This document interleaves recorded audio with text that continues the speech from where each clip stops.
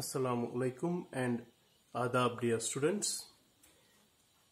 Today's lecture is regarding the welded connections in steel structures. So in this topic we will study what welded connections is all about, how the members are to be connected through these welded junctions and how the strength of these welded joints or connections are to be evaluated. So first of all we begin with the process of welding Basically this welding process involves connecting of two structural members together in which some heat is applied to the members where they are to be connected and then mechanical pressure may be applied in most of the cases and then the fusion is created in between the members which are to be connected at these ends. So this is when they cool down the metals, both the metals get fused into each other and hence a joint is formed. So first let's go to the welding processes, how this welding is done. There are various processes involved. One is gas welding. This gas welding in which oxyacetylene gas flame is used to heat the members, the ends of the members and a filler material, a filler metal is used which melts and fills up the gap between the two plates or the two members and which solidifies on cooling and hence a joint is formed. Forge welding in which the parts to be welded are heated to a temperature where they get into the molten state. Then fusion takes place and mechanical pressure may be applied at that particular point of time. Electric welding. In this, high electric currents are passed through the members. The members offer resistance to this electric current due to which heat gets generated Again, mechanical pressure is applied and the joint is developed.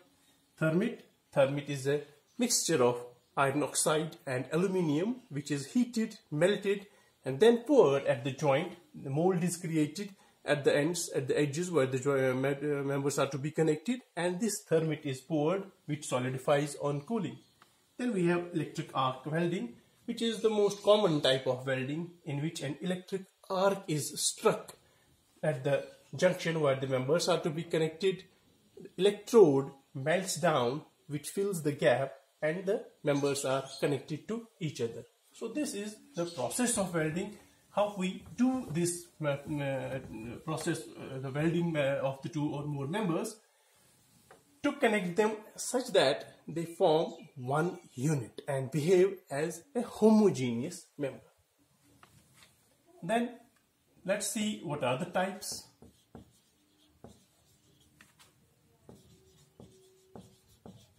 types of welded joints or welded connections.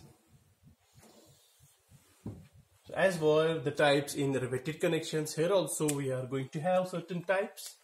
There are two basic types. One is called the fillet weld. This is the fillet weld and another one is the butt weld. So either the members are to be connected using a fillet weld or we may use a butt weld to connect the members together. So let's study fillet weld first. In a fillet weld, the members are lapped to each other. If this is one of the plates, it is to be welded to some other plate. They will be overlapped to each other. Then welding is done at these edges. This is where the welded, where the welds are provided. This is called a fillet weld. Okay. Or else members may be like this. Members to be connected are at right angle to each other and the welding is done here. This is the weld. This is the fillet weld. Okay. So the members in a fillet weld are to be overlapped. Then the welding is to be done as per our required norms, as per the requirement of that particular joint. Now this weld formed over here, this is this dimension is called the size of weld. This is known as the size of weld. So this is S, this is also S, it forms an isosceles triangle sort of a thing. But the thickness of this weld, when we will evaluate the strength, we need the thickness, the average thickness of this particular weld that is taken as this dimension. So for evaluation of the strength, we calculate throat thickness. This is called throat thickness. We don't take into account the size itself. We take the average thickness of the weld that is called the throat thickness. Technically, we use throat thickness term to calculate the strength of that particular joint. This throat thickness for a fillet weld is 0.707 times the size of weld. So size of the weld reduced to 0.707 uh, uh, times and that will be the throat thickness of that particular weld when we evaluate its strength. What is the size? Size is to be taken by the designer depending upon the thickness of the plates. Normally we have minimum and maximum limitations. The minimum size for a fillet weld depends upon the thickness of the members which are to be connected. So if thickness of the members will vary, the size will also vary. Less the thickness, lesser will be the size.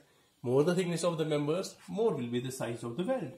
So if thickness is around, say if it is uh, up to 10 mm. We may use the size of 3 mm.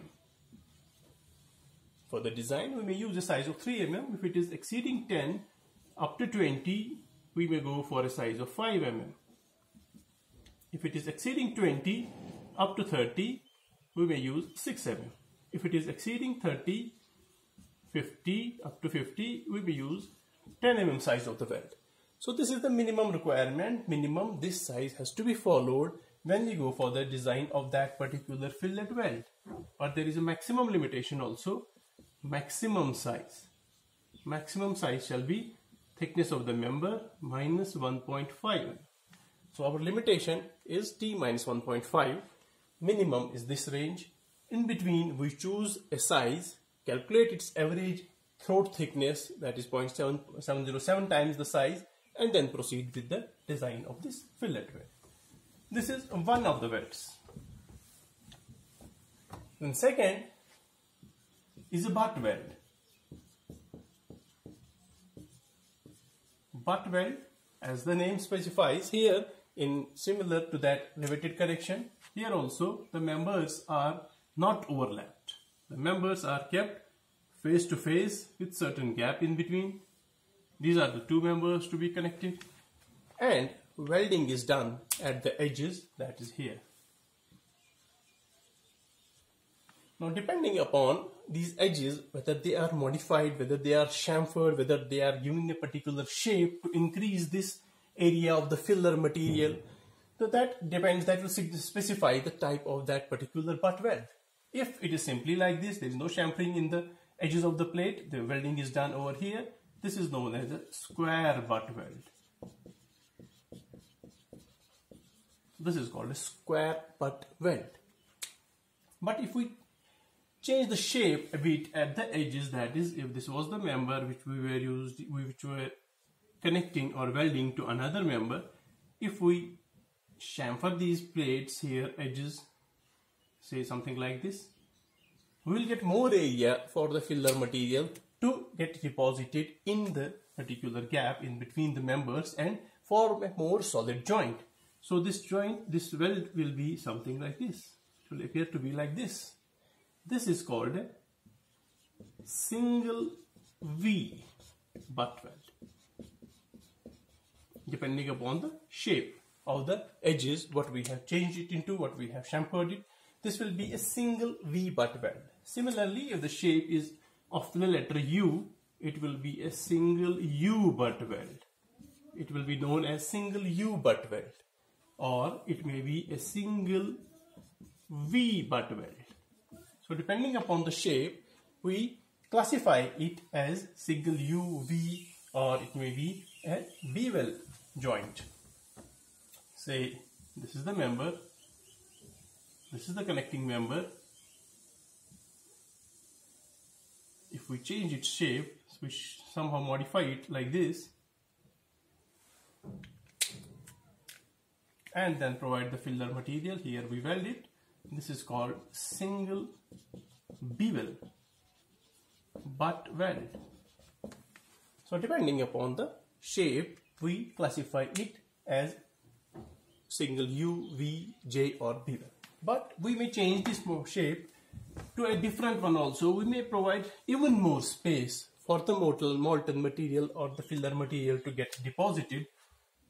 Say for example, this was the member. This was one of the plates.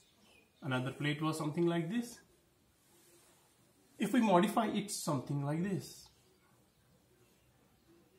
Now we provide more space for the filler material to get deposited and more the strength of the joint.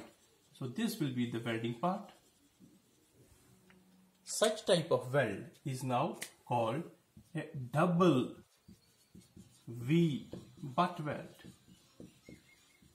or it may be a double U butt weld or it may be a double J butt weld. So depending upon the changes in its shape at the edges where we are welding the members together it may be double U, V or J or if it is bevel type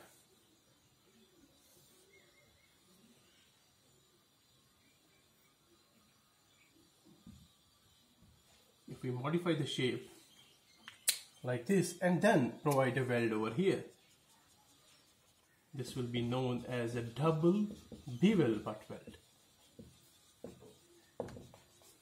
So this is how we classify the butt welds. Now depending upon whether it is a single type or a double type of a butt weld, we name it as, we classify this butt weld as full penetration.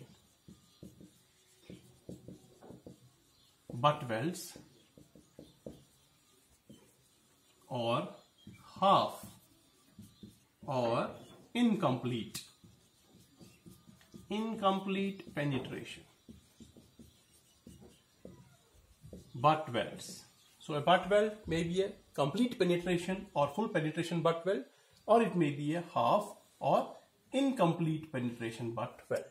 Now for full penetration all these double types double V, U, double J, double bevel this will come under this category of full penetration butt weld or complete penetration butt weld. Then half or incomplete, it will all be including this single U, single V, single J, single B bevel. This will be categorized as half or incomplete penetration butt welds. Now what is the difference? Difference is in the throat thickness. Throat thickness for this full penetration butt weld shall be taken as the thickness, full thickness of the plate. That is the lower plate. If we have two plates of different thicknesses, the plate with a lower thickness will be taken equal to the throat thickness for the analysis of that particular weld. Or if it is an incomplete penetration butt weld, then throat thickness is taken as a reduced value. Then it is 5 by 8 times the thickness of the thinner plate. Thinner plate. So it's 5 by 8 times the thickness of thinner plate for half complete and full for the complete penetration butt weld. So this is the type of the butt weld what we are we can use for connecting the members together. Then we come to the strength part of it that is load carrying capacity load bearing capacity or strength of a welded connection or a welded joint how much load a welded connection can ultimately carry. This safe load is equal to some area and some stress. Load is area into stress. Area will be length into throat thickness. This is the area of the weld, the length of the weld provided and the average thickness that is that we call throat thickness of the weld multiplied by the permissible stress in the weld. Okay, this is the load that particular weld or the strength that particular weld will at the most carry. Out of this, throat thickness we know this is the throat thickness. Depending upon the type of fillet weld, it will be, it will be 0.707 times the size. Or if it is the butt weld then depending upon again the type of butt weld it will be complete penetration it will be equal to T. If it is incomplete it will be 5 by T uh, 5 by 8 times T. Permissible stress in the weld this is the permissible stress. In the weld normally if it is a fillet weld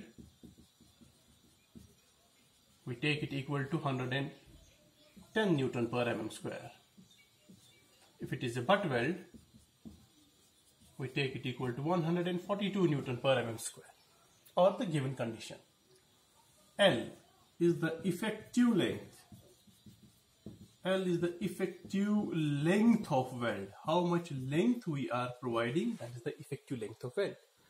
So this is the load that a weld can carry. Normally we design, we have designed the member that load for a particular load we already designed the member we design the joint for the same load. So load we know we calculate this length and then provide the length so that full this effective length is fully provided so that our load carrying capacity becomes equal to the load carrying capacity of the member.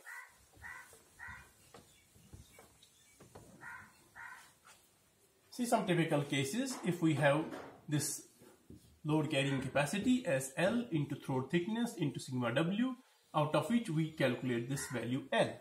Now how we are going to provide it? Say we have a plate which is connected to some other plate through a fillet weld. So this is another plate.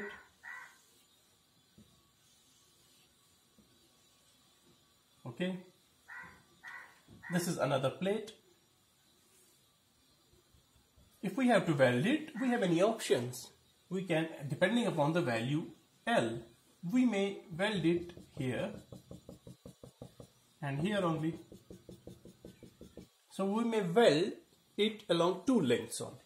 But that time care has to be taken that this length the length which we are providing say this is L1 this L1 shall not be less than the transverse distance. Say this is b of the width of the plate this L1 cannot be less than the width of the plate or the transverse distance between the two welds okay and this L this transverse distance between this L L1 here same distance here L1 again here these two lengths they are separated by a distance b the transverse distance between the two uh, weld welded lengths shall not exceed, shall not be less than 16 times the thickness of the plate which we are welding. So this is the case when we use only two lengths. If we have to provide more length and the uh, overlap has to be limited because this is the overlap. This is the overlap. This overlap has to be limited for economy if this overlap is to be limited, we have to provide this length. We are not able to provide it along two lengths only. We can provide it here also. We may provide it here also. So the third length is also welded. In case length is even more, overlap is limited, we may weld the fourth edge also. So depending upon the length to be provided, the main thing to be considered is the CG. The length which we are providing, the length of the weld which we are providing the CG of the weld and the CG of the member. These should coincide with each other. This is important. So we distribute the weld equally above and below this axis. This is a symmetrical mem member so there was no problem as such but in certain cases the member is unsymmetrical and the problem arises. Say in case we have another symmetrical member where we have this is a gusset member, the gusset plate. We have an angle section. We have another angle section.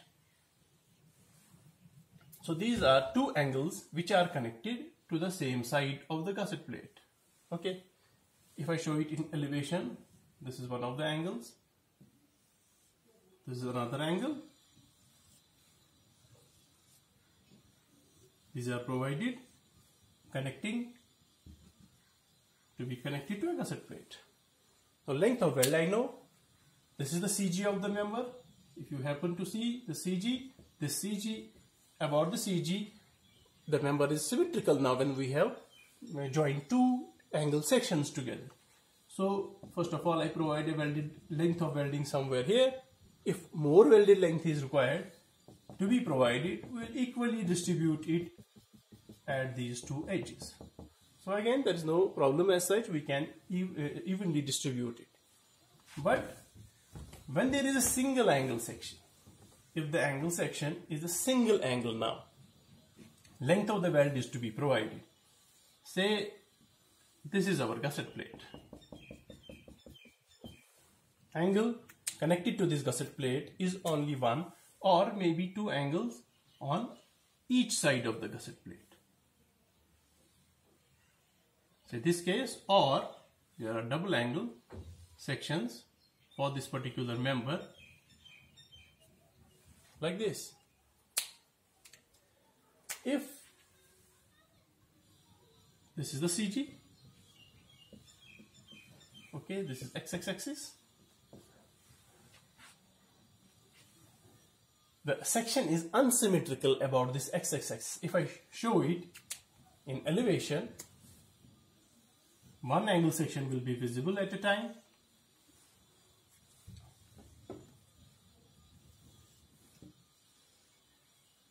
This is the angle section.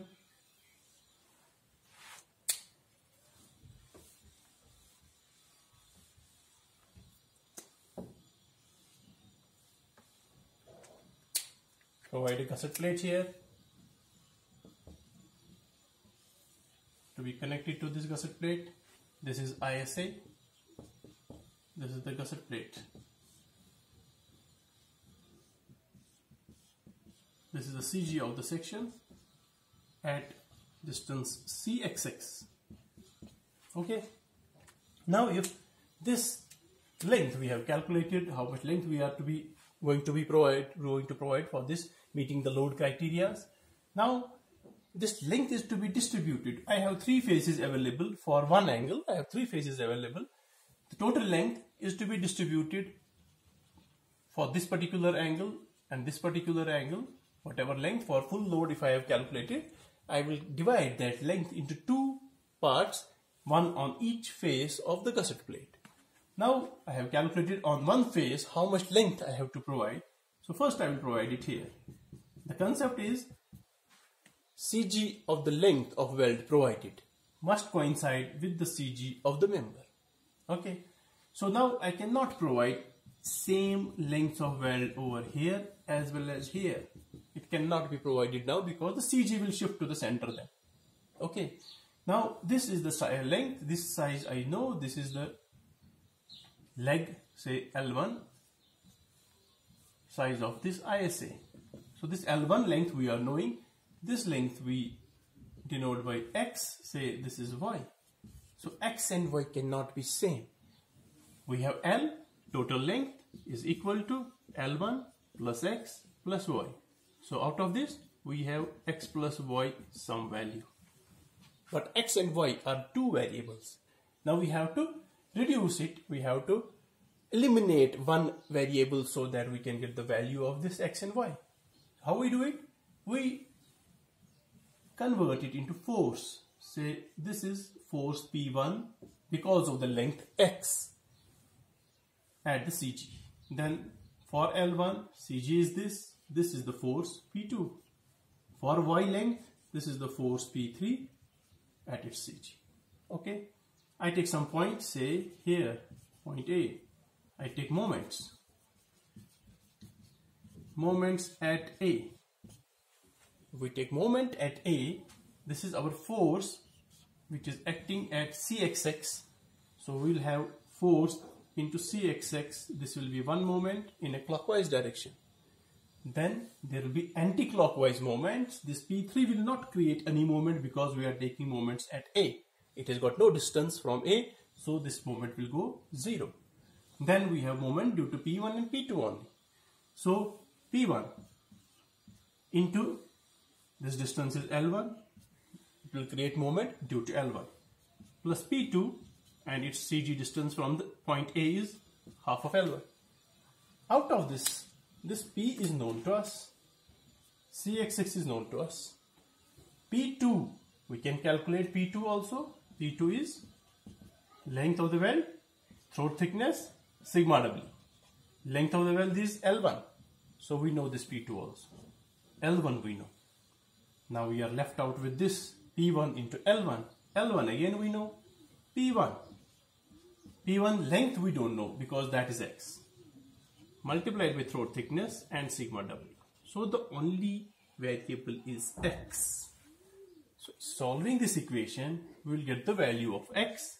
From this particular equation, we'll get the value of Y. And this X and Y are not going to be same. They are going to be different so that the CG of this entire welded length will coincide with the CG of the member itself. So in welded connections, we have a single formula for calculating its strength. Load we know because the load of for which we are going to design the welded connection is the same as we have designed the member. So we have to provide this throat thickness. This will depend upon the type. Permissible stress we know. Length of the weld is to be distributed. Now distribution depends upon the number of sides, how many sides we are going to weld. What is the provision? Is there any lap length which is to be limited or it's our choice? We will make it minimum so that it, uh, it uh, economy is achieved. We have to see if the member is symmetrical, then the length is to be evenly distributed above and below the x-axis. And if it is not symmetrical, if it is unsymmetrical, then this procedure has to be followed for distribution of the length of weld. Thank you.